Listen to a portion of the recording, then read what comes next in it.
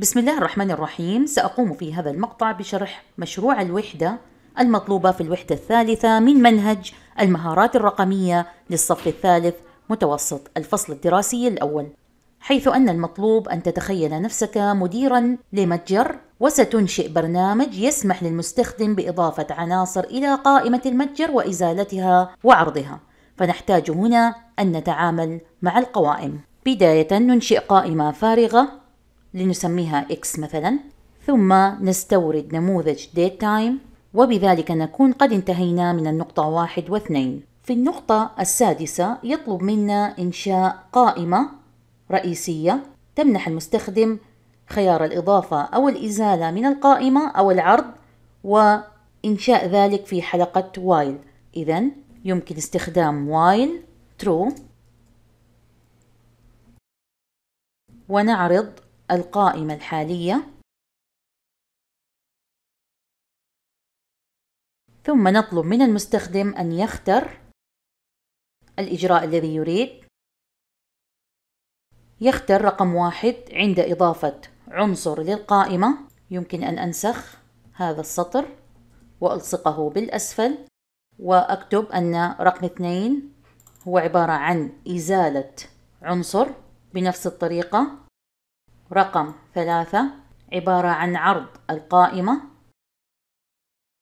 وأخيرا رقم أربعة للخروج من الوايل والخروج عموما من الرن.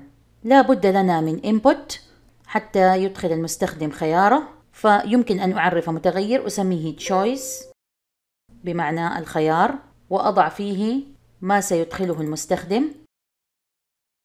ثم نبدأ بالإف. لدينا هنا عدة خيارات إذا لا بد من if و elif إذا كان هذا الخيار مساوي للواحد أي أن المستخدم يريد إضافة عنصر إلى القائمة فإننا سنعرف متغير نسميه item ونطلب من المستخدم أن يدخل العنصر الذي يريد إضافته.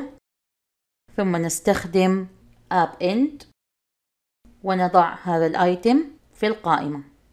أما إذا أدخل المستخدم رقم اثنين فإننا سنطلب من المستخدم أن يذكر العنصر الذي يريد حذفه بمعنى أنه مثل هذا السطر ولكن بدلا من إضافته حذفه أو إزالته.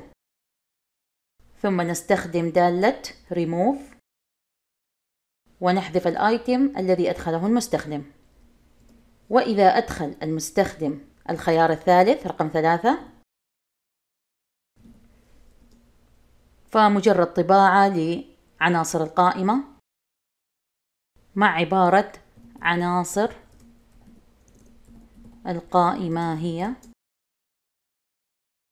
وإذا اختار المستخدم الخيار الرابع فسيتم الخروج من هذه الوايل وطباعة عبارة وهي شكرا لاستخدامك البرنامج مع طباعة تاريخ اليوم.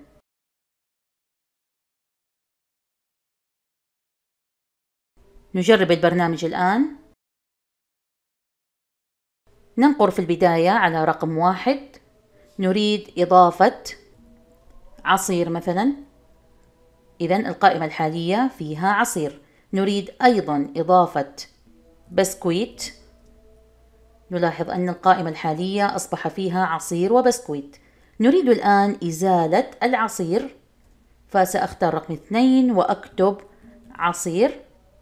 تمت الإزالة. نلاحظ أن الآن القائمة الحالية بدون العصير. ولو نقرنا على رقم ثلاثة لعرض القائمة فإن ما سيظهر هو عناصر القائمة هي بسكويت فقط ورقم أربعة للخروج. مع طباعة رسالة شكر وتاريخ اليوم. أتمنى من الله تعالى أن أكون قد وفقت في هذا الشرح والسلام عليكم ورحمة الله وبركاته.